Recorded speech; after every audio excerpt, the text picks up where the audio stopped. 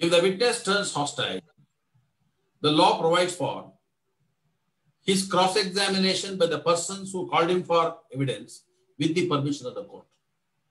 And after his cross examination with the very party, it is for the court to appreciate that evidence.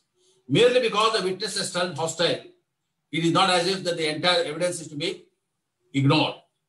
So it all depends upon the facts of the case, on what aspects he has given evidence, on what aspects he has let down the party who has examined.